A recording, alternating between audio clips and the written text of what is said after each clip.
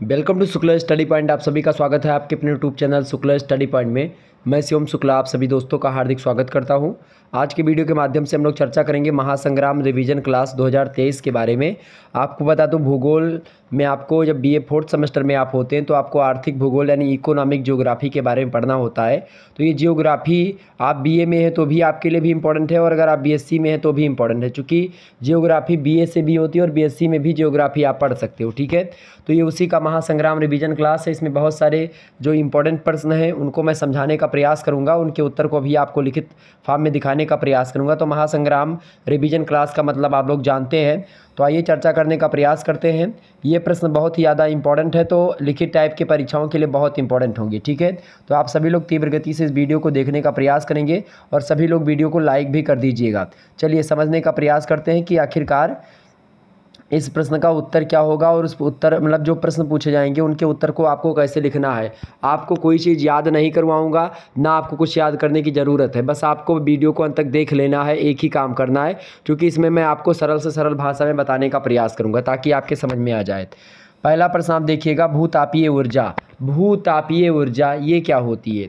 तो भूतापीय ऊर्जा, वह ऊर्जा होती है जिसे पृथ्वी में संग्रहित ताप से निकाला जाता है। पृथ्वी में आपको बता दूँ, जैसे पृथ्वी के अंदर आप देख रहे हैं जैसे ज्वालामुखी का फटना हो गया, या आप देखते होंगे कि भूकंप आते हैं, भूस्खलन होता है, या नाना प्रकार की ऐसी गतिविधियाँ होती हैं पृथ्वी के अंदर अंदर अंदर, ठीक है? तो वो सब एक प्रकार से चूँकि भूमि के अंदर बहुत तापमान ज़्यादा है, और उसी तापमान से चूँकि ऊर्जा उत्पन्न होती है तो वही होती है भूतापीय ऊर्जा, ठीक है? या भूतापीय ऊर्जा क्या करती है? ग्रह के मूल गठन से खनिज के रेडियोधर्मी क्षय से, क्षय माने होता है एक प्रकार से, जो मलबा होता है वो, उससे और सतह पर अवशोषित सौर ऊर्जा से उत्पन्न होती है। तो ये होता है भूतापीय ऊर्जा। भूतापीय ऊर्जा की बात की है तो लाग, इस भूतापीय ऊर्जा लागत प्रभावी, विश्वसनीय, टिकाऊ, संपोषणीय और पर्यावरण के अनुकूल होता है। लेकिन ऐतिहासिक रूप से यह प्लेट विवर्तनिक सीमाओं के निकट के क्षेत्रों तक सीमित रही है। आप देखते हैं, प्लेट विवर्तनिक सिद्धांत आपको पता होगा, वो जो प्लेट टेक्टानिक थियरी है कोबर महोदय की, ठीक है? तो उसमें आप देखिएगा, जो कोबर का भूसन्नति सिद्धांत है और प्लेट टेक्टानिक थियरी आप देखते हैं एक व्यक्ति की, पता नहीं उनका मतलब ध्यान नहीं आ रहा है मुझे, नाम थोड़ा सा। तो उनकी एक प्रकार से प्लेट टेक्टानिक जो थियरी है, उनकी अगर बात की जाए थेल्स महोदय या बेगनर ऐसे बेगनर का महाद्वीप विस्थापन का सिद्धांत है तो और भी लोग हैं मतलब ध्यान नहीं आ रहा है मुझे तो उसके लिए माफ़ी चाहूँगा। लेकिन जब अगर बात की जाए, जो प्लेट टेक्टोनिक थियोरी है या जब प्लेटें आपस में टकराती हैं तो उनसे ऊर्जा उत्पन्न होती है और उन्हीं से वलित पर्वतों का निर्माण होता है। तो कोबर का भूसन्नति सिद्धांत भी इस, इस बात की पुष्टि करता है दुनिया के जितने वलित पर्वतों का निर्माण हुआ है वो कहीं ना कहीं पे आप देख रहे हैं कि भूतापीय ऊर्जा से ही जो है आपस में जब अंदर अंदर टकराव होता है फिर भूसन्नति से मलबा ऊपर जाता है और वह वलन के परिणाम स्वरूप वलन माने होता है इस प्रकार से ठीक है? ऐसे ऐसे पर्वतों का निर्माण हो जाता है। तो ये सब ऊर्जा के द्वारा ही होता है। हाल ही के तकनीकी विकासों ने मतलब टेक्निकोलॉजी जब डेवलप हुई, उन्होंने व्यवहार्य संसाधनों की सीमाओं और आकार को नाटकीय रूप से विस्तार किया है। विशेष रूप से ग्रह तापन जैसे अनुप्रयोगों के लिए बड़े पैमाने पर दोहन की संभावनाओं को भी देखा मतलब खोला है। तो भूतापीय एक ऊर्जा का स्रोत है और उन्हीं ऊर्जा को एक प्रकार से इकट्ठा करने के लिए, उन ऊर्जा को संग्रहित करने के लिए या उस ऊर्जा से नाना प्रकार की गतिविधियाँ करने के लिए अब वैज्ञानिक लोग लगे हुए हैं और भूतापीय कुआँ ग्रीन हाउस गैसों को छोड़ते हैं और मतलब ग्रीन मतलब भूतापीय ग्री मतलब कि जो कुएँ होते हैं जिनसे भूमि भूमि ताप से मतलब ऊर्जा निकाली जाती है, एनर्जी ली जाती है मतलब जो जैसे जो ऐसे भूतापीय ऊर्जा होती है, वैसे ही आप देखते हैं, जो गति, गतिज ऊर्जा होती है नदियों से तो उससे बिजली बनाई जाती है, ऐसे ही आप देखते होंगे कि हर एक चीज़ से, एक प्रकार से ऊर्जा से ही बिजली वगैरह आप बना सकते हैं और बहुत फ़ायदा होता है। तो भूतापीय कुएँ होते हैं और उन कुओं से ग्रीन हाउस गैसें जो होती हैं, वो ऊपर निकलती ग्रीन हाउस गैस का मतलब क्या होता है? जैसे मीथेन हो गया, जलवाष्प हो गया, ठीक है, ये सब हो गए, ठीक है? और भी गैसें हैं जो कि ग्रीन हाउस गैसेस के लिए इंपॉर्टेंट है। कार्बन डाइऑक्साइड हो गया सीएफसी हो गया तो ये सब ठीक है। जो धरती के भीतर गहरे फंसी होती हैं ये गैसें ग्रीन हाउस गैसें, लेकिन ये उत्सर्जन ऊर्जा के प्रति यूनिट के हिसाब से जीवाश्म ईंधन की तुलना में बहुत कम होती हैं और ये धीरे धीरे जो होती हैं, वो एक प्रकार से बाहर निकलती हैं। परिणाम स्वरूप भूतापीय ऊर्जा में वैश्विक गर्मी को कम करने की क्षमता, खास करके कभी कभी जो गर्मी चूँकि बढ़ती है ग्रीन हाउस गैसेस का मतलब क्या होता है? ये भूमंडलीय तापन में एक प्रकार से उसका जो ताप होता है, भूमि का मतलब वायुमंडल का, उसको बढ़ाने में जो ग्रीन हाउस गैसेस होती हैं इंपॉर्टेंट भूमिका निभाती है।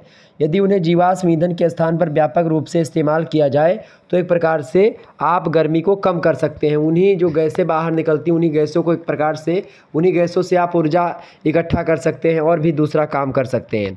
ठीक है? अगला प्रश्न तो एक प्रकार का संसाधन होता है ये, ठीक है? एक प्रकार का संसाधन है, भूतापीय ऊर्जा, एक नव्य संसाधन आप मान सकते हो, नया संसाधन। अगला प्रश्न, संसाधन किसे कहते हैं? तो मानव के द्वारा आकलित और भरोसा किया हुआ या किसी वस्तु या पदार्थ का वह गुण या क्षमता और जो है कार्य या संक्रिया जो मानवीय परिसंपत्ति बन जाता है, वो संसाधन कहलाता है। कहने का मतलब ये है कि संसाधन जो होता है, संसाधन आप जैसे आपको बता दो, कोयला हो गया भी एक संसाधन है। ठीक है, पेट्रोल हो गया, पेट्रोलियम, कोयला, गैस, ठीक है, और भी तमाम प्रकार के अभरक हो गया, सोना, चांदी से लेकर के टिन प्लेटिनियम तमाम प्रकार के ऐसे धातु हैं जो कि धातु हो गए गैसें तमाम सारी हैं, ठीक है, अधातु हैं तो ये सब क्या हैं? ये सब संसाधन ही हैं। इसके अलावा आप देखते हैं कि जल हो गया, मिट्टी हो गई, वायु है, ये सब भी एक संसाधन है, ठीक है? देखें आगे समझेंगे और समझ में आएगा। वे पदार्थ या वस्तुएँ या ऊर्जा के स्रोत जिस पर ऊर्जा, चूँकि जो संसाधन होते हैं, वो ऊर्जा भी प्रदान करते हैं। चाहे वायु की बात की जाए, चाहे जल की बात की जाए, चाहे भूमि की बात की जाए, भूतापीय ऊर्जा तो ये सब एक प्रकार से ऊर्जा देने वाले संसाधन यानी ऊर्जा के स्रोत कहे जाते हैं, जो एक प्रकार से संसाधन होते हैं खास करके ऊर्जा प्रदान करते हैं एनर्जी देते हैं ये। तो वे पदार्थ या वस्तुएँ, या ऊर्जा स्रोत, जिस पर कोई मानव सहायता के लिए या किसी आवश्यकता की पूर्ति के लिए निर्भर रहता है या निर्भर करता है, वह संसाधन कहलाते हैं। इसी बात को आप दूसरे शब्दों में भी कह सकते हैं कि किन्हीं निश्चित उद्देश्यों की पूर्ति के लिए जो भी उपाय काम में लाए जाते हैं, वे संसाधन कहलाते हैं और इनमें अवसरों के लाभ उठाने की क्षमता और अपने को कठिनाइयों से बाहर निकाल लेने की क्षमता भी सम्मिलित होती है इसमें, ठीक है? संसाधनों का प्रयोग करते समय किसी व्यक्ति की पूर्व कल्पना कर मतलब कोई, किसी व्यक्ति की पूर्व कल्पना करते हैं और इस व्यक्ति की आवश्यकताओं की पूर्तियों और सहायताओं के लिए प्रयुक्त किए जाने वाले पदार्थों तथा उपायों की कि गुण की अनुमानित मात्राओं और अभिमूल्यों का बोध उन संसाधनों से होता है। मानव के द्वारा अनुमानित उन गुणों से यह प्रकट होता है कि कोई वस्तु ऐसी है जो किन्हीं ऐसे निश्चित उद्देश्यों की पूर्ति कर सकती है, जिन पर कोई मानव सहायता या पूर्ति के लिए निर्भर करता है। कोई मिलाकर के मनुष्य मिट्टी पर भी निर्भर है, कोयले पर भी निर्भर है पेट्रोलियम पर आज अगर पेट्रोलियम ख़त्म हो जाए तो आप देखो कि एक प्रकार से ऊर्जा का बहुत बड़ा भाग एक प्रकार से, या हिंदुस्तान में जो गाड़ी मोटर चल रहे हैं, या हिंदुस्तान में पूरी पृथ्वी पर तो पेट्रोलियम वगैरह से, डीजल से, पेट्रोल से, इन्हीं सबसे चल रहे हैं। गैस आजकल पूरे भारत के घर घर में एक प्रकार सप्लाई हो चुका है। तो आप देखते हैं कि वो सब जैसे अगर ये सब संसाधन ही तो हैं, कब ख़त्म हो जाए कुछ पता नहीं है। तो इन्हीं सभी के लिए डिपेंडेंट होता है मनुष्य और अपना कुछ तकनीकी दिमाग लगा करके उन संसाधनों का दोहन करता है और उनका उपयोग अपने जीवन में करता है। तो वो संसाधन होते हैं। जैसे मिट्टी का उपयोग खेती करने के लिए कर लिया, जल का उपयोग खाने, खाना बनाने के लिए, पीने के लिए और भी नाना प्रकार के काम के लिए करता है। वायु का प्रयोग सांस लेने में, प्राणवायु कहलाती है ऑक्सीजन तो कई प्रकार के उपयोग ऐसे दैनिक जीवन में जो प्राकृतिक संसाधन है, वे संसाधन दो प्रकार के होते हैं। एक प्राकृतिक संसाधन और एक मानवीय संसाधन। प्राकृतिक संसाधनों में ऐसे संसाधन जो कि प्रकृति के द्वारा बनाए गए हैं मानवीय संसाधन जो मनुष्य के द्वारा बनाए जाते हैं ठीक है देखिए तीसरा प्रश्न स्वेज नहर स्वेज नहर किसे मतलब स्वेज नहर का बहुत महत्व है ये बात आप ध्यान रखेंगे स्वेज नहर आर्थिक दृष्टि से बहुत उपयोगी है। और आपको बता दूँ स्वेज नहर की बात की जाए तो भूमध्य सागर को लाल सागर से जोड़ती है यह नहर और इसकी खुदाई जो हुई थी उनसठ ईस्वी में अलेक्जेंड्रिया में स्थित फ्रांसीसी दूतावास के एक इंजीनियर थे। फर्डिनेंट डी जो है फर्डिनेंट डी लेलेप्स, ठीक है? तो इन्होंने क्या करा था? इन्होंने इसकी खुदाई करी थी। किसने करी थी भाई? उनका नाम क्या है? Ferdinand de Lesseps. तो फर्डिनेंट डी लेसेप्स के निर्देशन में जो है इसकी खुदाई शुरू हुई थी अठारह सौ उनसठ ईस्वी में और नहर का निर्माण जो है दस वर्षों में लगभग पूरा हुआ और उनसठ ईस्वी मतलब उनहत्तर ईस्वी में आप देखिएगा, नहर का उद्घाटन हुआ अठारह सौ उनसठ में मतलब खुदाई मतलब शुरू तो हुई, लेकिन उसके बाद में छः नौ यहाँ पर कर लीजिएगा चूँकि दस वर्षों के बाद में उद्घाटन हुआ और सुएज़ नहर के द्वारा यूरोपीय देशों और भारत, बांग्लादेश, इंडोनेशिया, ये सभी एशियाई देशों के बीच की जो दूरी थी एक प्रकार से यूरोप को लेकर के वो कम हुई। इसके अलावा स्वेज मार्ग के द्वारा आप देखते लीबरपुर से मुंबई तक आप देख लीजिएगा, लगभग आठ हज़ार किलोमीटर जो है वो कमी आई है उसमें और लीबरपुल और याकोहामा के बीच चौवन सौ किलोमीटर और लीबरपुल तथा सिडनी के बीच दो हज़ार किलोमीटर की बचत हुई है, ये नहर बन जाने के परिणाम स्वरूप तो बहुत ज़्यादा फ़ायदा हुआ है व्यापारिक दृष्टिकोण से और बहुत उपयोगी है व्यापार की दृष्टि से अगर आप देखिएगा। व्यापारिक दृष्टिकोण से बहुत ज़्यादा उपयोगी है कौन सी नहर? स्वेज नहर, ठीक है?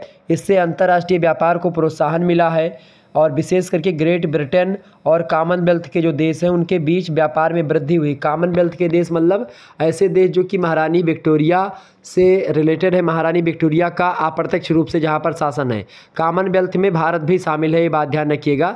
लेकिन भारत पर कोई मामला होता है तो उस पर इंग्लैंड का कोई मतलब नहीं होता है। कॉमनवेल्थ में वे सभी देश अक्सर आ जाते हैं, जिन पर कभी ना कभी इंग्लैंड का शासन रहा है। उन, ऐसे देश उनको कॉमनवेल्थ का देश कहा जाता है। ग्रेट ब्रिटेन में आप देखते तीन देश वैसे शामिल हो जाते हैं। ठीक है आयरलैंड उत्तरी आयरलैंड मतलब आयरलैंड उत्तरी आयरलैंड और ये बेल्स और एक, एक प्रकार से इंग्लैंड ठीक है ये सब शामिल हो जाते हैं।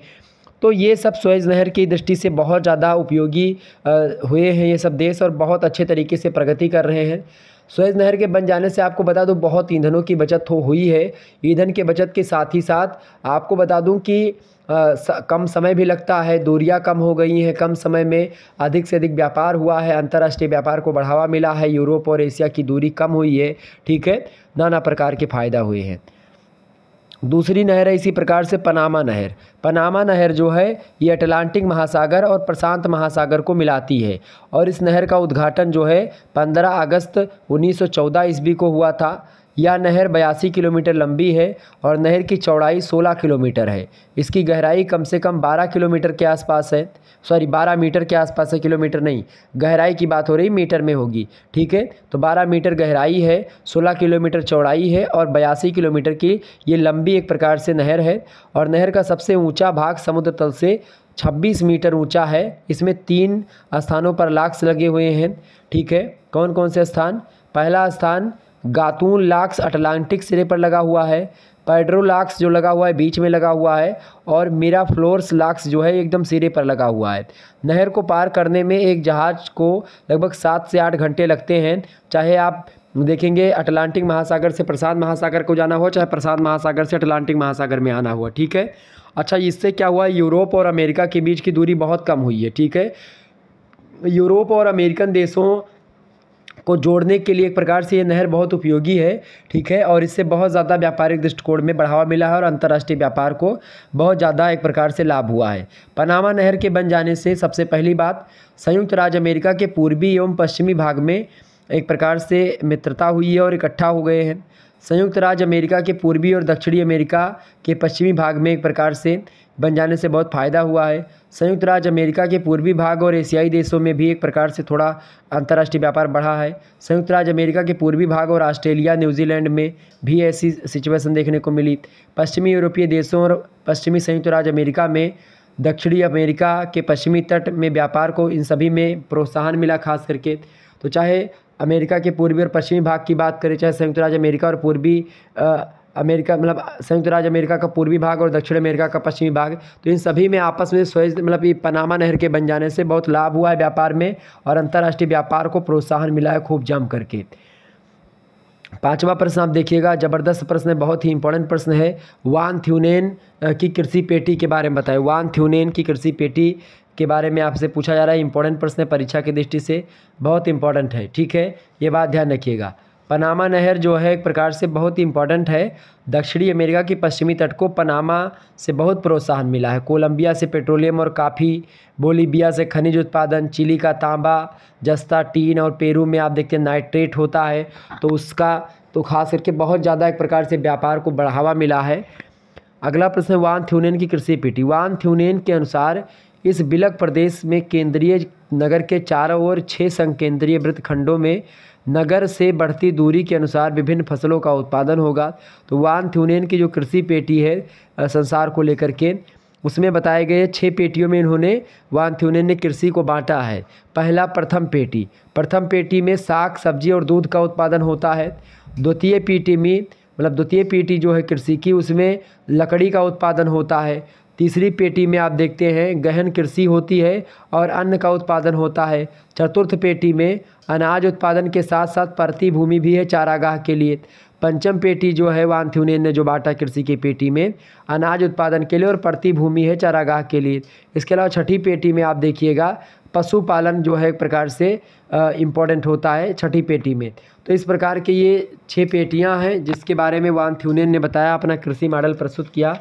संसार को इन्होंने हालाँकि और भी कृषि प्रदेशों में अलग अलग बांटा है, लेकिन यहाँ पर आप देखिएगा तो उन्होंने छः पेटियों के बारे में बताया है, जिसके बारे में हमने आपको बता दिया। तो वान थ्यूनेन की जो कृषि पेटी है, वो इस प्रकार से कुछ आप बता सकते हैं और आसानी से चीज़ों को सम मतलब कि समझ पा सकते हैं।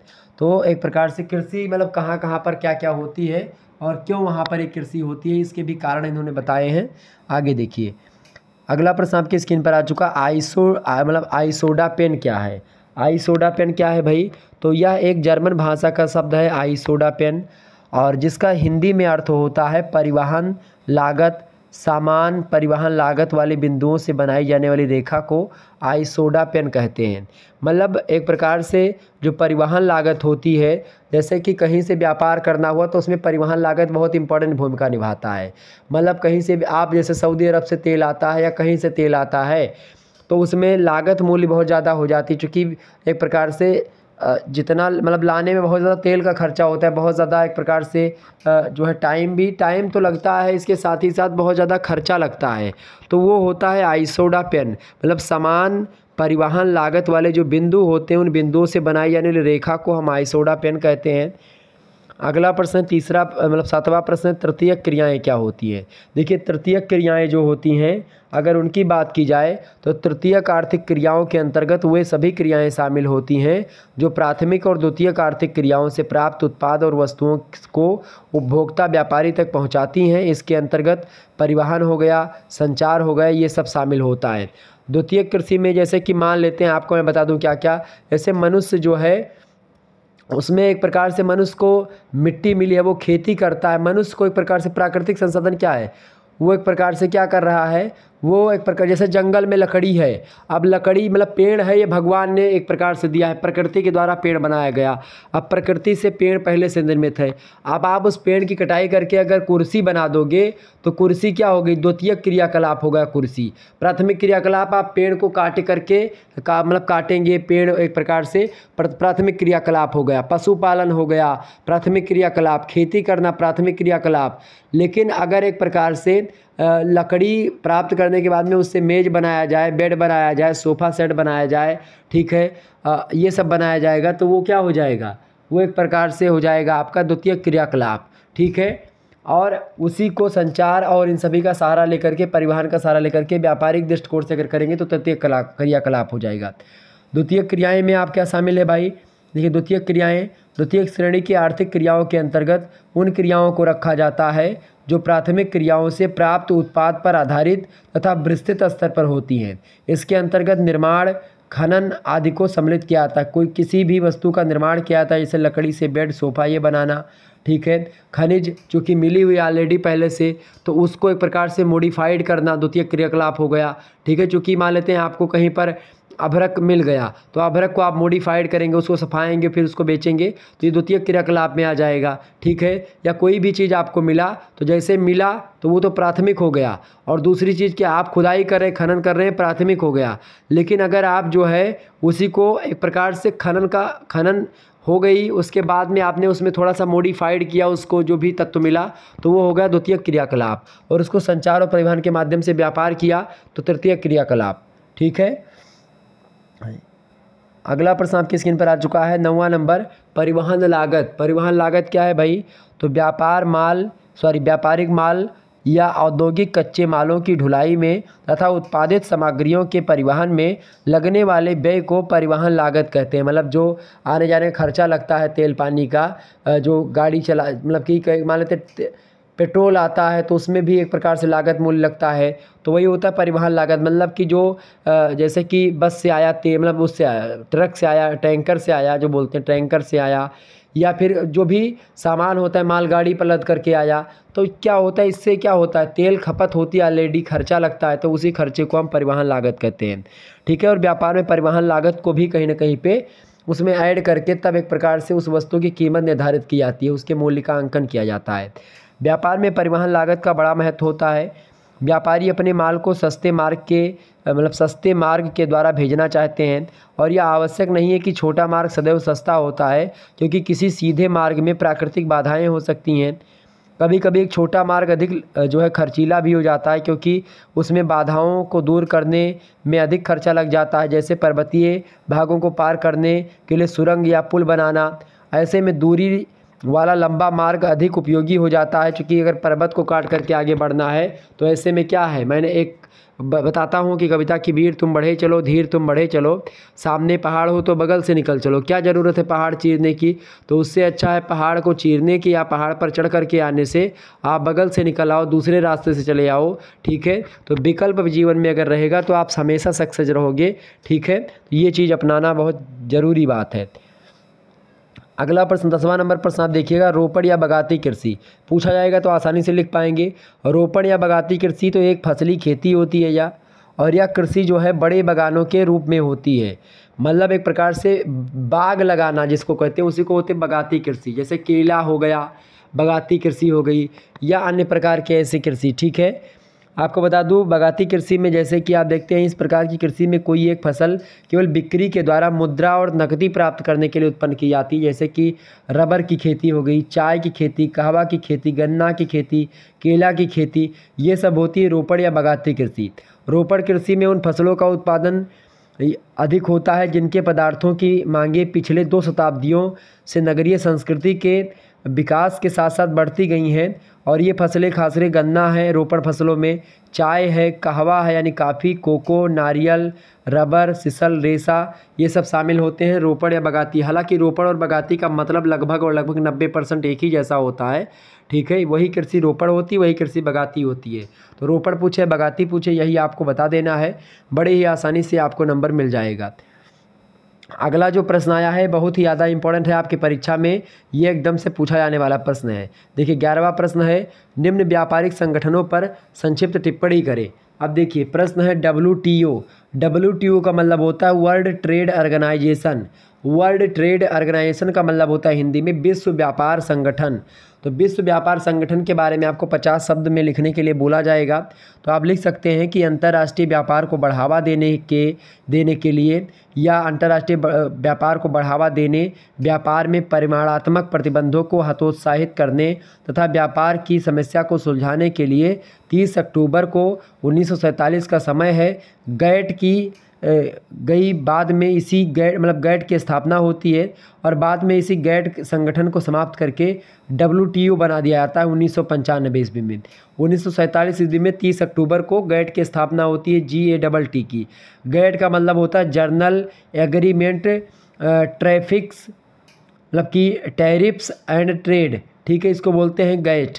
अब इसी गैट को एक प्रकार से बना दिया गया क्या? डब्ल्यू के नाम से। समझ रहे हैं? तो डब्ल्यू आपके बारे में मतलब डब्ल्यू जो है वर्ल्ड ट्रेड ऑर्गेनाइजेशन विश्व व्यापार संगठन है, जो कि विश्व व्यापार को बढ़ावा देता है।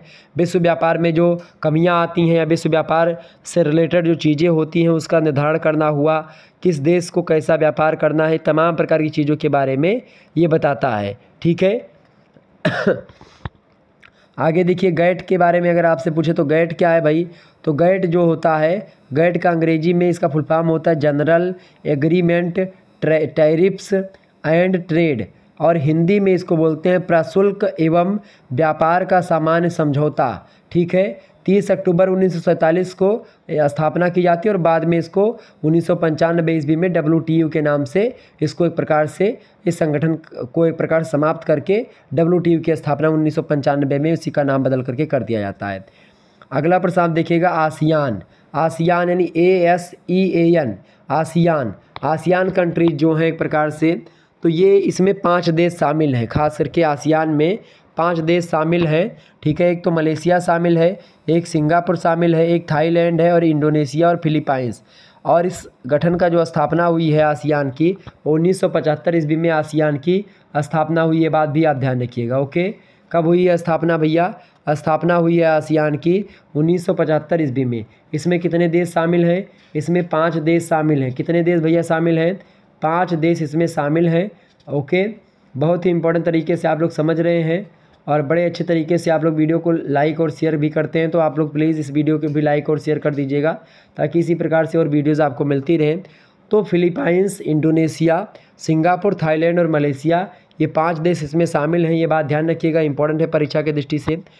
और इन देशों ने परस्पर मैत्री और सहयोग की जाने मतलब सहयोग की जो संधि की थी, उसका उद्देश्य था कि व्यापार के क्षेत्रों में या अन्य किसी कठिनाई में एक सदस्य देश जो होंगे वो दूसरे सदस्य देश की सहायता करेंगे और चावल और तेल जो होगा उन सभी की या ये चावल या तेल या फिर अन्य और चीज़ों की या किसी भी चीज़ की किसी देश को कमी होगी तो वो सदस्य देश जो होंगे अन्य देशों की अपेक्षा उसे व्यापार में प्राथमिकता देंगे। मतलब पहले अगर मलेशिया में तेल ख़त्म होता है तो इंडोनेशिया सोचेगा कि पहले हम मलेशिया को दें, उसके बाद में फिर हम भारत को देंगे। मतलब प्राथमिकता हमेशा मलेशिया, सिंगापुर, थाईलैंड और फिलीपींस को देंगे, ठीक है, इंडोनेशिया वाले। या अगर सिंगापुर की बात की जाए तो सिंगापुर हमेशा मलेशिया, थाईलैंड, इंडोनेशिया और फिलीपाइंस को प्राथमिकता देगा, ना कि अमेरिका और इंग्लैंड को देगा या भारत को देगा। तो आसियान कंट्रीज़, यही है पाँच देश हैं आसियान के कौन कौन से? मलेशिया, सिंगापुर, थाईलैंड, इंडोनेशिया और फिलीपाइंस ठीक है? अगला जो आपका संगठन है, वो संगठन है एफ्टा। एफ्टा संगठन की बात की जाए, E F T A. E F T A की अगर बात की जाए तो अपने व्यापार संबंधों को यूरोपीय देशों से बनाए रखने के लिए ब्रिटेन ने ई सी एम के विपरीत संघ की स्थापना करी। ई सी एम के स्थान पर ई सी एम चूँकि स्थापना थी तो ब्रिटेन ने क्या किया? ई सी एम के विपरीत संघ की एक स्थापना करी, जिसका नाम यूरोपियन स्वतंत्र व्यापार एसोसिएशन रखा इफ्टा जिसको बोलते हैं, यूरोपियन फ्री ट्रेड ऑर्गेनाइजेशन या एसोसिएशन। एसोसिएशन बोलेंगे, ठीक है? तो एफ्टा का फुल फॉर्म क्या होता है? एफ्टा का फुल फॉर्म होता है यूरोपियन फ्री ट्रेड एसोसिएशन, ठीक है? विश्व मतलब यूरोपीय स्वतंत्र व्यापार एसोसिएशन होता है, इसका फुल फॉर्म, ठीक है? और इसके अंतर्गत नार्वे इसमें शामिल है। इसके अलावा स्वीडन शामिल है, स्विट्ज़रलैंड शामिल है, ठीक है। इसके अलावा ऑस्ट्रिया शामिल है, पुर्तगाल शामिल है, फिनलैंड शामिल है, ब्रिटेन भी शामिल है। ब्रिटेन के द्वारा ही बनाया गया तो ब्रिटेन ये इतने देश शामिल हैं किसमें? एफ्टा में। एफ्टा मतलब यूरोपियन स्वतंत्र व्यापार एसोसिएशन में।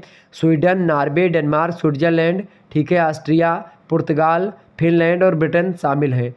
उन्नीस सौ तिहत्तर ईस्वी में ब्रिटेन डेनमार्क और नार्वे ईसीएम में सम्मिलित हो गए, जिससे अब परिस्थिति थोड़ा मतलब जिससे अब परिस्थिति थोड़ा बदल चुकी है, चूँकि ई में भी शामिल हो चुके हैं, डेनमार्क, नार्वे और ब्रिटेन, और उसमें भी एफ्टा में भी शामिल हैं। तो ये है एफ्टा।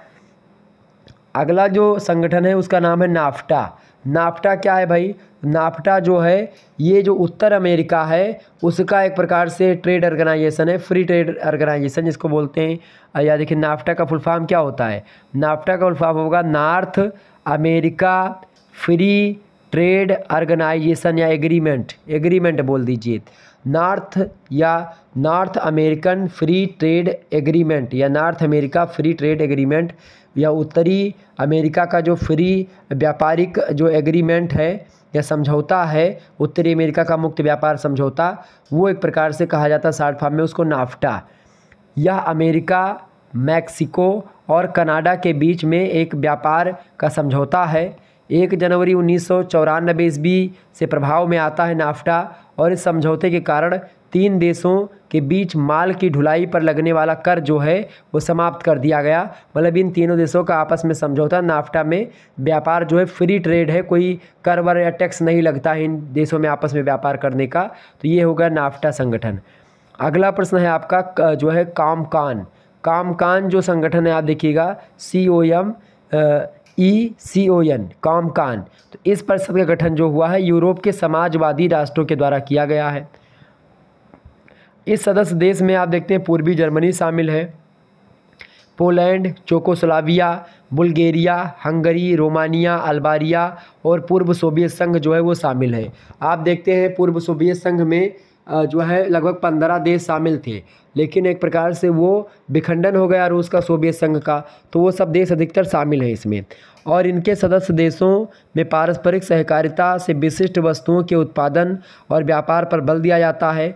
इस परिषद के मुख्य उद्देश्य आर्थिक, व्यापारिक और राजनीतिक मतलब राजनीति में आपसी सहयोग देते हैं बुल्गारिया, हंगरी, रोमानिया, अल्बानिया, पूर्व सोवियत संघ जर्मनी, पूर्वी जर्मनी, पोलैंड चोकोसलाबिया ये सब देश आपस में एक दूसरे का चाहे व्यापारिक मामला हो, चाहे आर्थिक मामला हो और चाहे राजनीतिक मामला हो, आपस में या आपसी सहयोग एक दूसरे को देते हैं, ठीक है?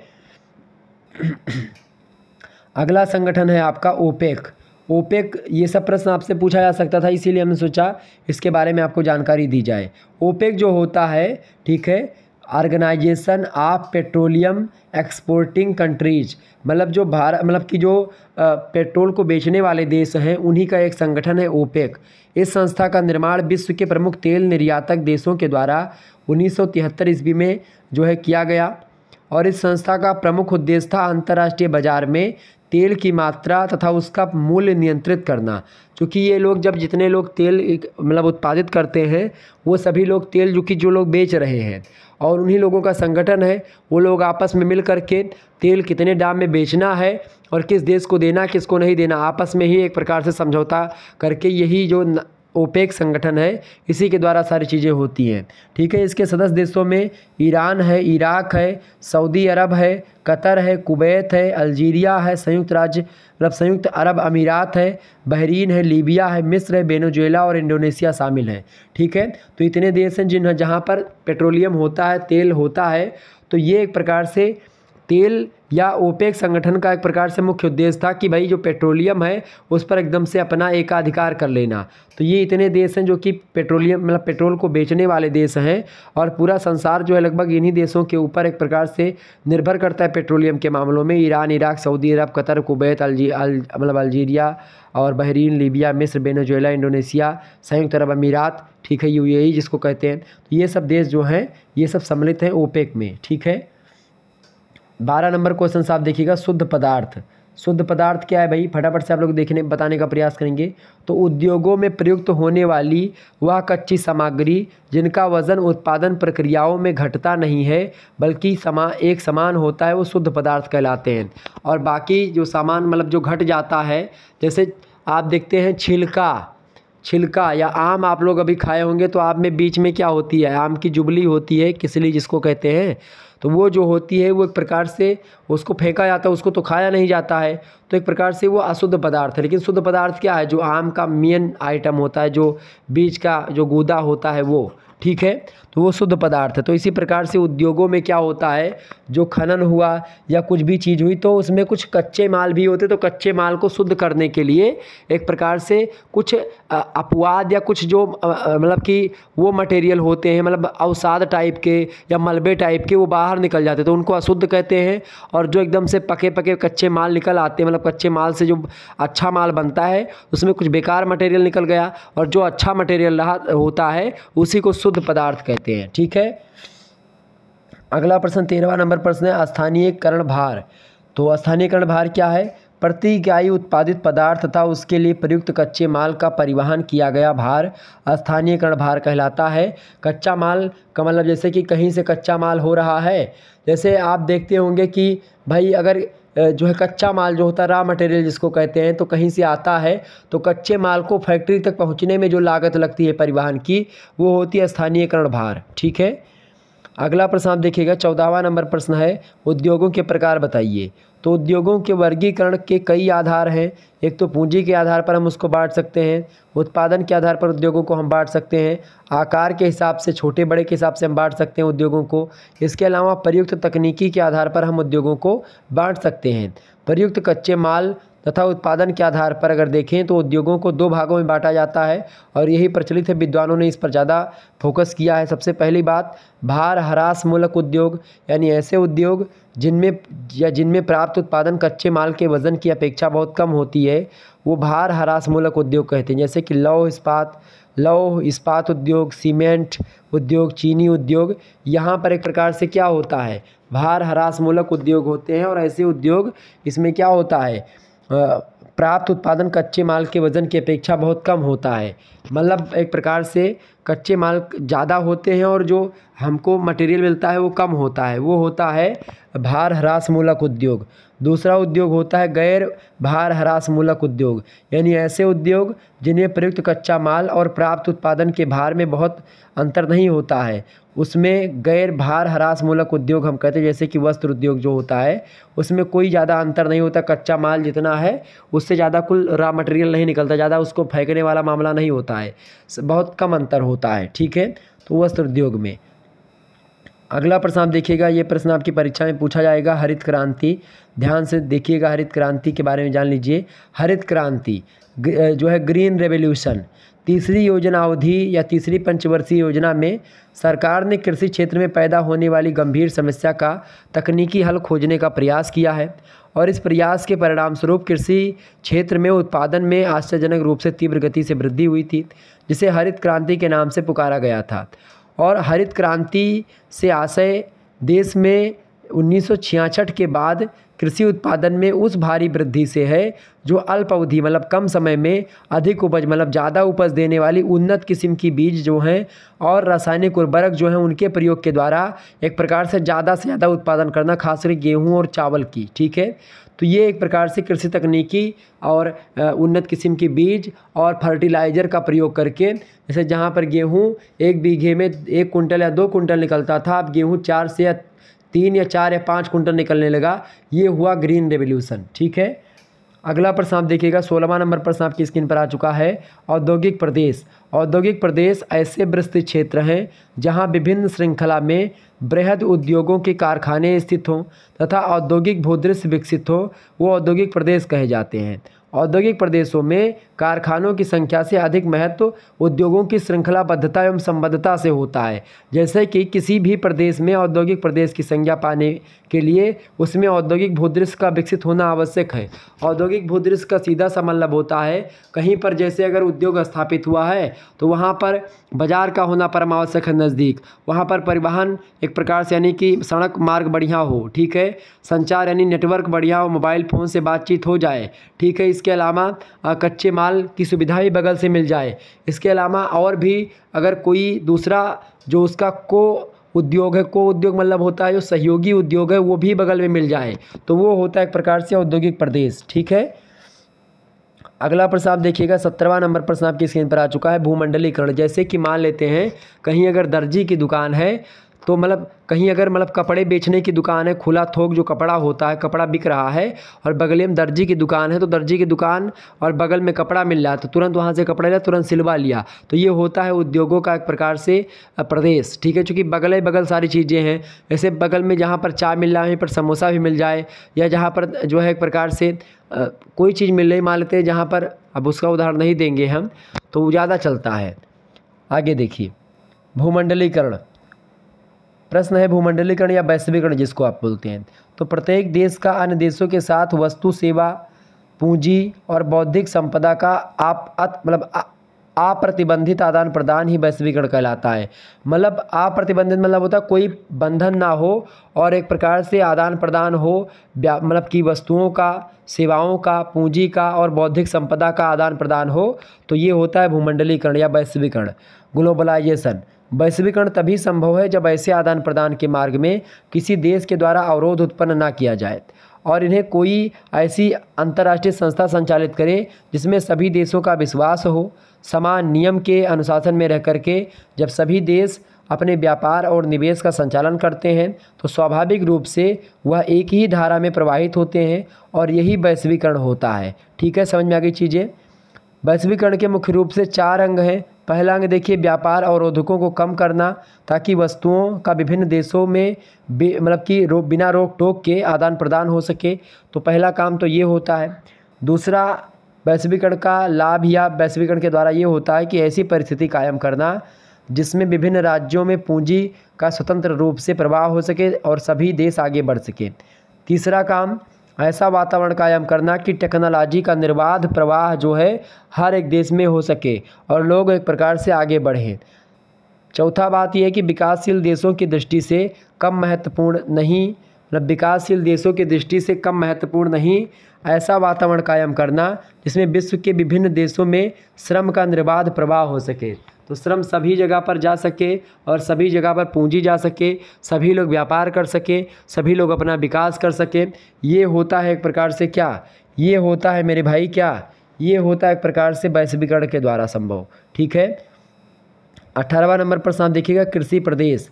कृषि प्रदेश ऐसे विस्तृत क्षेत्र होते हैं जिसमें कृषिगत दिशाओं मतलब दशाओं में खास करके विशेषता फ़सलों की किस्मों और उनकी उत्पादन विधि में समरूपता मिलती है। वो कृषि प्रदेश कहते हैं जैसे कृषि भूमि के उपयोग की विशिष्ट मतलब विशिष्टता जन्य संबद्धता मिलती है। मतलब जैसे एक ही जैसे अगर कृषि होती है, यहीं पर केवल पशुपालन हो रहा है उस एरिया में तो उसको एक कृषि प्रदेश बोल दिया गया। या कहीं पर केवल धान, गेहूँ हो रहा है तो उसको कृषि प्रदेश बोल दिया गया। ठीक है डी विटलसी का जो कृषि प्रदेश है, उनका वर्गीकरण मैंने आपको समझा रखा है ऑलरेडी पहले से, आप देख लीजिएगा। यह संबद्धता बहुधा कृषि प्रदेश विशेष रूप से कृषि कार्य में व्यवहत उपकरणों तथा कृषक के आवास रहन सहन के ढंग और जीवन स्तर में परिलक्षित होती हैं और इस प्रकार कृषि मतलब कोई कृषि प्रदेश, अन्य कृषि प्रदेशों में समरूपता और संबद्धता में विशिष्टता भिन्न हो जाता है। तो एक प्रकार से जैसे कहीं पर पशुपालन और गेहूँ की और उसका फ़सल होता है, कहीं पर पशुओं के लिए केवल चारागाह वाला प्रदेश है, कहीं पर एक प्रकार से खास करके खूब गहन कृषि की जाती, कहीं पर बस हल्की कृषि की जाती, कहीं पर निर्वाहक कृषि जीवन के लिए की जाती है। तो ये सब होती कृषि प्रदेश। अगला प्रश्न आप देखिएगा, उन्नीस नंबर प्रश्न है फूट लूज उद्योग क्या है? फूट लूज उद्योग सामान्यतः उद्योगों के एक ऐसे पुकार होते हैं, जिन्हें कभी भी, किसी भी क्षेत्र में स्थान या किसी भी क्षेत्र में, किसी भी स्थान में स्थापित किया जा सकता है। इस प्रकार के उद्योग में कच्चे माल की प्राप्ति, स्थान और स्थापित फैक्ट्री या उद्योग के बीच माल परिवहन लागत का कोई प्रभाव नहीं पड़ता है। उदाहरण के तौर पर अगर आप समझें, हीरा प्रसंस्करण और मोबाइल कंप्यूटर का चिप निर्माण हो गया। फूटलूज उद्योग का ये दो उदाहरण है, हीरा प्रसंस्करण और मोबाइल कंप्यूटर चिप निर्माण। इसमें ज़्यादा एक प्रकार से कहीं पर ना परिवहन लागत की कोई बात है, ना फैक्ट्री या स्थान का कोई मत। जहाँ है, वहीं से काम हो गया, ठीक है? ये होता है फूटलूज उद्योग।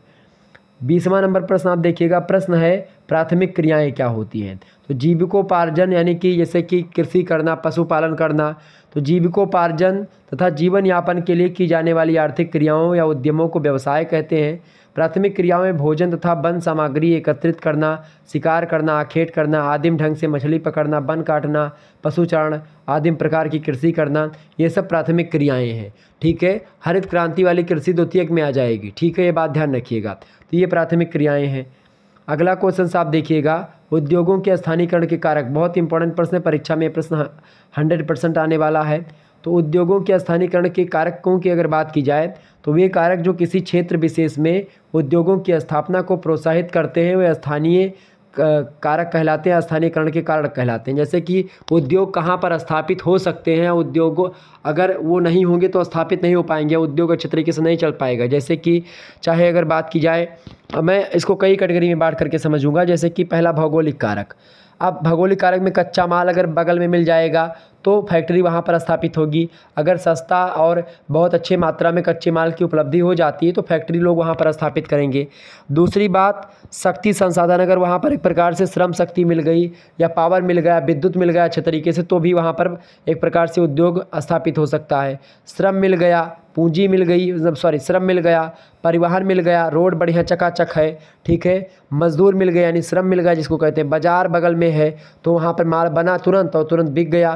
तो इससे बहुत ज़्यादा फ़ायदा होता है, उद्योग वहीं पर स्थापित होते हैं। जल आपूर्ति में अगर जल की भी एक प्रकार से उपलब्धि हो जाती है तो ये सब भौगोलिक कारक हैं, ठीक है? जो कि उद्योगों के स्थानीयकरण के कारक हैं और उद्योगों को स्थापित करने के लिए एक प्रकार से उपयोगी हैं।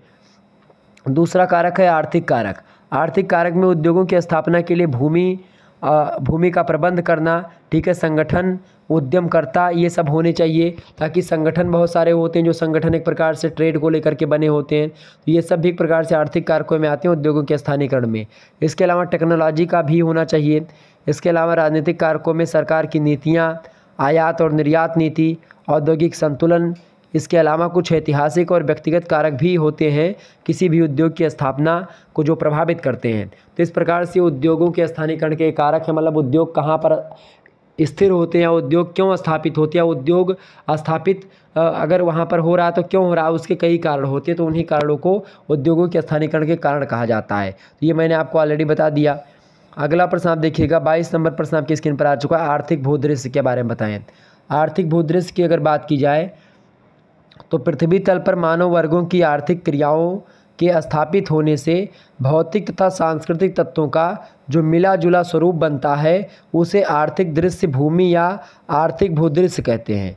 और मनुष्यों के विभिन्न प्रकार के आर्थिक उद्यमों के कारण आर्थिक भूदृश्य भी भिन्न भिन्न होते हैं। जैसे कि कृषि से रिलेटेड विभिन्न दृश्यावलियों वाले क्षेत्रों में कृषि से संबंधित आर्थिक भूदृश्य होगा उद्योगों के क्षेत्र में उद्योगों से रिलेटेड तथा परिवहन एवं व्यापार से संबंधित आर्थिक क्रियाओं वाले क्षेत्रों में अलग प्रकार का आर्थिक भूदृश्य होगा।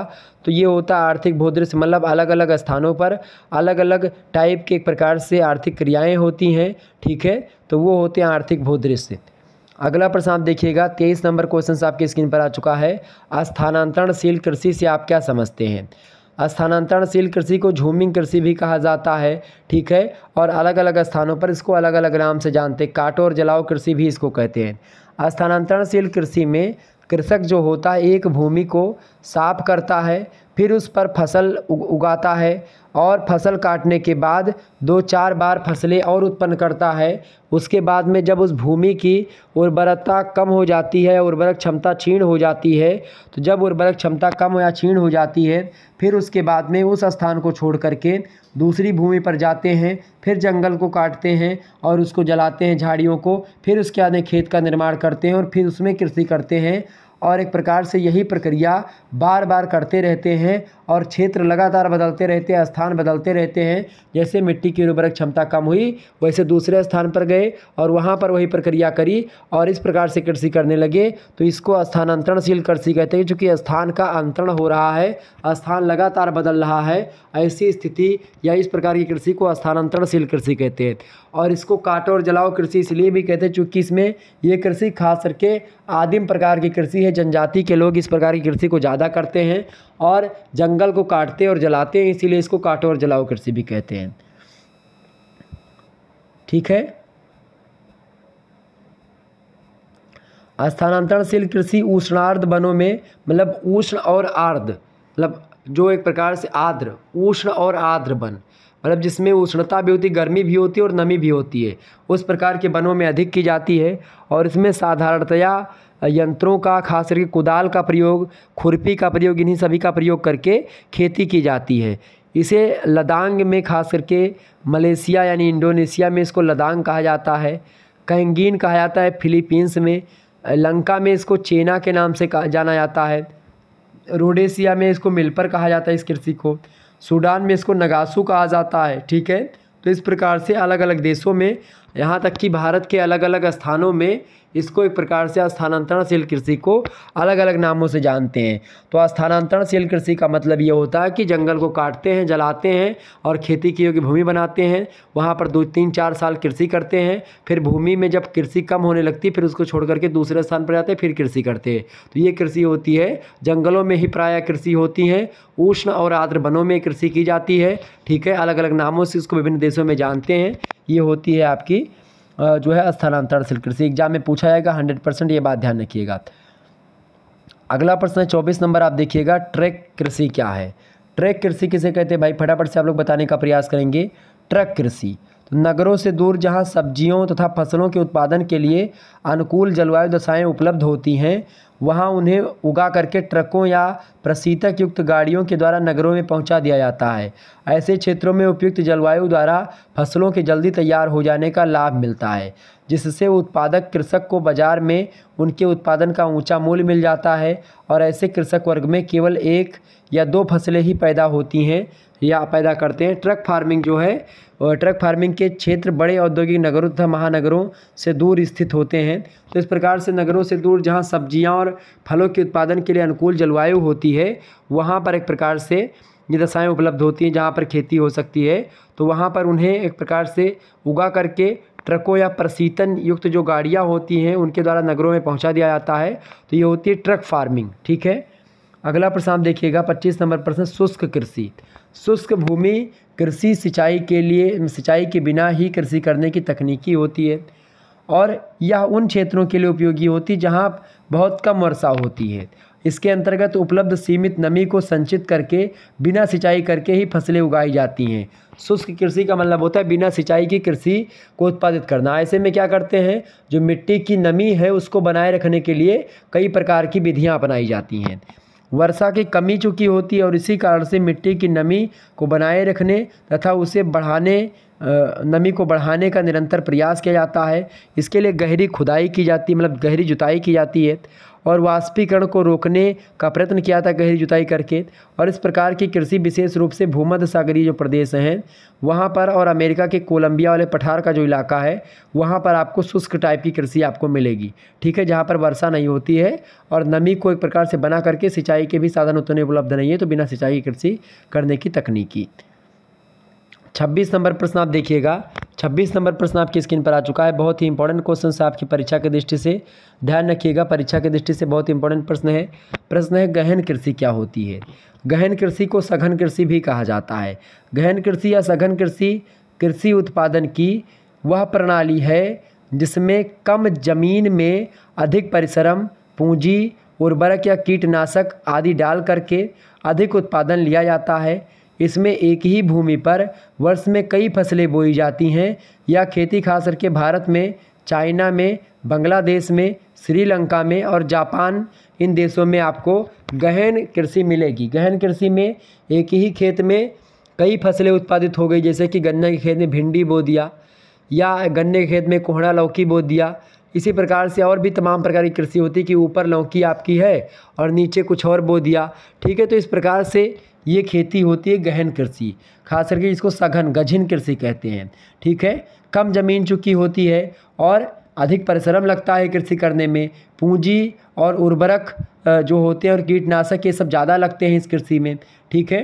तो इसमें एक ही भूमि पर एक वर्ष में कई फ़सलें बोई जाती हैं, खास करके वो होती हैं गहन कृषि। एक साथ ही भी एक खेत में बो दी जाती हैं और एक साल में कई बार मतलब दो तीन बार, जैसे सरसों और गेहूँ बो दिया जाता है एक ही में। ठीक है? या लाही बो करके फिर गेहूँ बो दिया जाता है, या गन्ना काटने के बाद में गेहूँ तुरंत बो दिया जाता है। तो इस प्रकार से कभी कभी क्या होता है कि एक ही खेत में दो दो कृषि कभी कभी क्या होता है कि साल में दो बार या तीन बार कृषि, ऐसी कृषि की जाती है। भारत और चाइना में खास करके इसके अलावा बांग्लादेश, जापान और श्रीलंका में भी इस प्रकार की कृषि आपको देखने को मिलती है। सत्ताईस नंबर प्रश्न है, आर्थिक भूगोल की परिभाषा। बहुत महत्वपूर्ण प्रश्न है, आपकी परीक्षा में हंड्रेड परसेंट ये प्रश्न आएगा। आर्थिक भूगोल की परिभाषा देखिए, आर्थिक भूगोल जो है, अर्थतंत्र के क्षेत्रीय संगठन, प्रतिरूप एवं प्रक्रिया का अध्ययन करता है। दूसरे शब्दों में, आर्थिक भूगोल, मनुष्य के आर्थिक कार्यों, उत्पादन, उपभोग, विनिमय एवं वितरण के क्षेत्रीय प्रतिरूप एवं उनमें व्याप्त क्रियाओं, प्रक्रियाओं का अध्ययन प्रादेशिक अर्थतंत्र संगठन की व्याख्या के उद्देश्य से करता है। मतलब अर्थतंत्र में अगर देखें, इकोनॉमी में खास करके तो चार चीज़ें बहुत इंपॉर्टेंट है। एक तो उत्पादन एक उपभोग, एक विनिमय और एक वितरण। इन्हीं चारों पॉइंट पर ये चार खंभे हैं, ये चार पिलर हैं और इन्हीं चार पिलर पर इकोनॉमिक्स पूरा टिका हुआ है। और चूँकि आप पढ़ रहे हैं इकोनॉमिक जियोग्राफी आर्थिक भूगोल पढ़ रहे हैं। तो इन चार खंभों के बारे में आपको जानना है। देखिए, उत्पादन माने होता है कि कितना उत्पादन होता है, उत्पादन अलग अलग स्थानों पर अलग अलग होता है। तो उन्हीं उत्पादन का अध्ययन आर्थिक भूगोल करता है कि कहाँ पर क्या उत्पादन होता है, कैसे होता है, वहाँ की अनुकूल दशाएँ कैसी है, जो वहाँ पर ये चीज़ें हो रही हैं, उत्पादन। अब उत्पादन में कृषि भी हो सकती है और पशुपालन तो कृषि में ही शामिल है। इसके अलावा तमाम प्रकार के और भी जो धातुएँ अधातुएँ गैसें, तमाम प्रकार की चीज़ें होती हैं, जो इसमें शामिल हो सकती हैं। उपभोग मतलब एक प्रकार से कहाँ के लोग कहाँ मतलब उपभोग मतलब यूज़ में क्या ले रहे हैं और किस प्रकार से उसका उपभोग कर रहे हैं। तीसरी बात, विनिमय। विनिमय माने क्या होता है? साझा, आदान प्रदान करना। ठीक है? आयात निर्यात जिसको आप बोलते हैं तो विनिमय के माध्यम से होता है। जैसे कि अगर हमारे पास रुपया है या हमारे पास कोई जैसे गेहूँ हमने उत्पादित किया, आपने चावल उत्पादित किया तो हम गेहूँ और चावल आपस में बदल लें, वो होता है विनिमय। एक्सचेंज करना, एक दूसरे को देना। हम आपको कुछ दे दें, आप हमको कुछ दे दो। ठीक है? तो वो होता है आदान प्रदान, या इसको बोलते हैं विनिमय शार्ट फार्म में तो आदान प्रदान को विनिमय कहा जाता है। तो विनिमय का भी बड़ा योगदान होता है आर्थिक भूगोल में। इसके अलावा वितरण वितरण माने होता है कहाँ पर क्या पाया जाता है और पाया भी अगर जाता है तो एक प्रकार से वो कहाँ कहाँ पर जो आपने एक प्रकार से उत्पादित किया वस्तुओं को और उसका उपभोग करने वाले कहाँ कहाँ पर पाए जाते हैं और उनका बंटवारा कैसे कैसे किया जाता है, कहाँ पर क्या पाया जाता है और किस प्रकार से जो आयात निर्यात होता है तो खास करके किस तरीके से चाहे रेल मार्गों की बात की जाए, चाहे जल मार्गों से, चाहे वायु मार्गों से, किस प्रकार से जो है, जो आपने मतलब वो उत्पादित की है वस्तुओं को, उसको किस प्रकार से आप भेजेंगे, किस प्रकार से वितरित करेंगे। तो ये चार पॉइंट होते हैं मुख्य रूप से आर्थिक भूगोल के, ठीक है, चार खंबे। आर मर्फी बड़ी ज़बरदस्त परिभाषा देते हैं इसकी आर्थिक भूगोल की। कहते हैं कि आर्थिक भूगोल मनुष्य की जीविकोपार्जन की विधियों में एक से दूसरे स्थान पर मिलने वाली समानता और विषमता का अध्ययन करता है, ठीक है, आर्थिक भूगोल क्या करता है? मनुष्य की जीविकोपार्जन की विधियों में खास करके जीविकोपार्जन की विधियों का प्रयोग मनुष्य जो होता है, एक स्थान पर किसी दूसरे तरीके से करता है और वही दूसरे स्थान पर आप जाएँगे तो वो मनुष्य दूसरे तरीके से अपने जीविकोपार्जन के लिए कई विधियों को अपनाएगा। यानी मनुष्य जो होता है, जीविकोपार्जन की विधियों को एक प्रकार से अलग अलग स्थानों पर अलग अलग तरीके से अपनाता है तो इसी समानता और विषमता का अध्ययन करता है आर्थिक भूगोल आरी मर्फी कहते हैं। अलेक्जेंडर कहते हैं आर्थिक भूगोल की परिभाषा को देते हुए कि आर्थिक भूगोल पृथ्वी तल पर उत्पादन, विनिमय एवं उपभोग की वस्तुओं से रिलेटेड मानवीय कार्यों की क्षेत्रीय विभिन्नताओं का अध्ययन करता है। मतलब क्षेत्रीय भिन्नताएँ जो होती हैं, मानवीय कार्यों की चाहे हों, चाहे उत्पादन की भिन्नता हो, चाहे विनिमय की भिन्नता हो और चाहे उपभोग की वस्तुओं से रिलेटेड कोई मानवीय कार्य हो। तो इन सभी में जो क्षेत्रीय भिन्नता या रीजनल जो चेंजमेंट दिखाई देता है, उसी रीजनल चेंजमेंट का या क्षेत्रीय विभिन्नताओं का अध्ययन करता है आर्थिक भूगोल, ठीक है, पृथ्वी तल पर जो तमाम प्रकार के उत्पादन, विनिमय और उपभोग की वस्तुओं से संबंधित मानवीय कार्यों की जो क्षेत्रीय भिन्नताएँ होती उन्हीं का अध्ययन करता है आर्थिक भूगोल। अलेक्जेंडर इस प्रकार से बताते हैं। अगला प्रश्न है, अट्ठाईस नंबर क्वेश्चन आप देखिएगा। अट्ठाईस नंबर प्रश्न आपकी स्क्रीन पर आ चुका फटाफट से आप लोग देखने का प्रयास करेंगे। अट्ठाईस नंबर प्रश्न क्या दिया हुआ है? प्रश्न है, नवगम्य नहर क्या है? फटाफट से आप लोग बताने का प्रयास करेंगे। नवगम्य नहर के बारे में आप बताएँ भाई।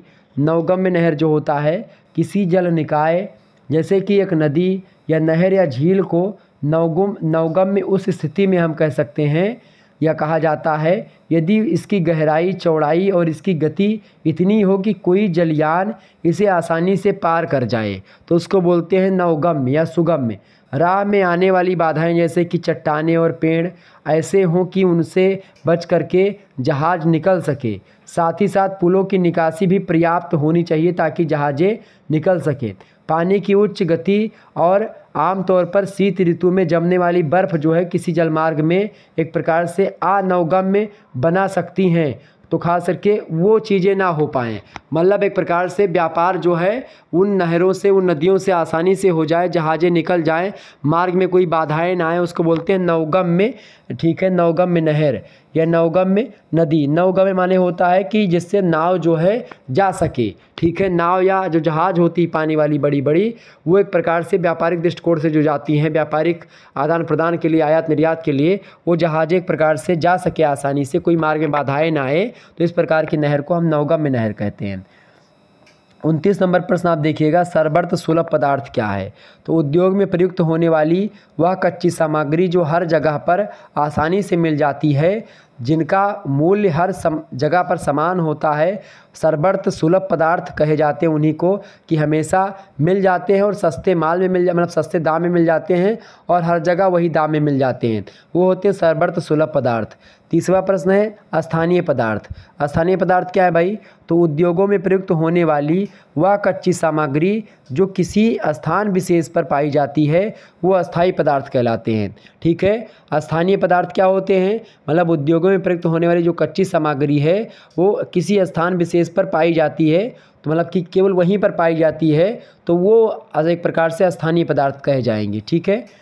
इकतीस नंबर प्रश्न है, भारत में लौह इस्पात के प्रमुख केंद्र कौन कौन से उसको बताएँ। तो भारत में लौह इस्पात उद्योग के प्रमुख केंद्र निम्न हैं। पहला है, आप देखिएगा, Tata Iron and Steel Company Jamshedpur में है। दूसरा है, Indian Iron and Steel Company Burnpur, Kulti एवं हीरापुर में आपको मिलेगी।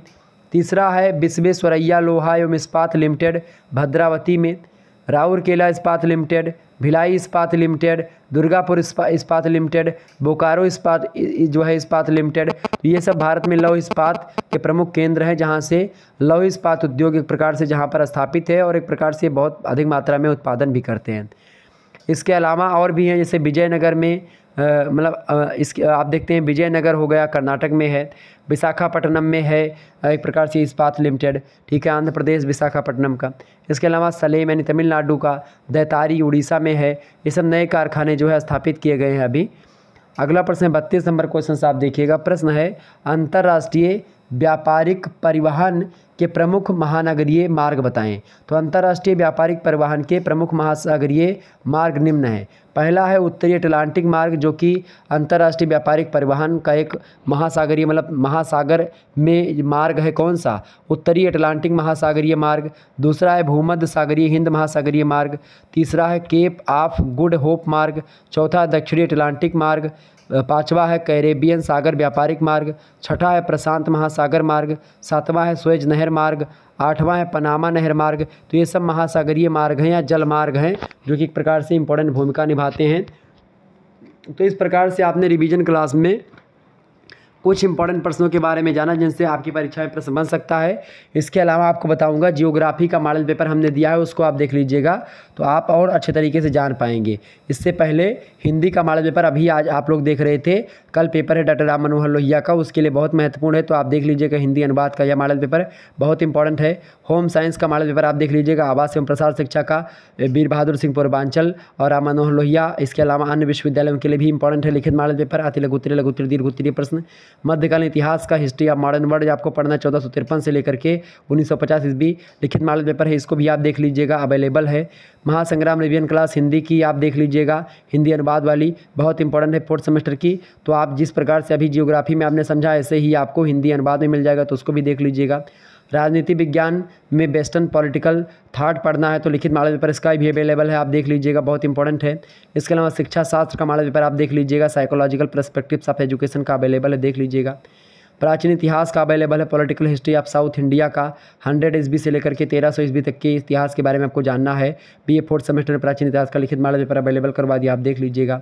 संस्कृत साहित्य का आप देख लीजिएगा, लिखित मॉडल पेपर मैंने दे दिया ऑलरेडी आप देख सकते हो। काव्य शास्त्र एवं संस्कृत लेखन कौशल जिसमें आपको पढ़ना था। ठीक है, इसके अलावा सैन्य विज्ञान का हमने दे दिया स्ट्रेटेजिक थाट के बारे में लिखित मॉडल पेपर बहुत ही ज़बरदस्त तरीके से आप देख लीजिएगा। जियोग्राफी का मॉडल पेपर दिया है तो आप देख सकते हैं इकोनॉमिक जियोग्राफी के, जिसके बारे में हम विस्तार से हमने चर्चा करी है। तो ये भी मॉडल पेपर आप देख लीजिएगा।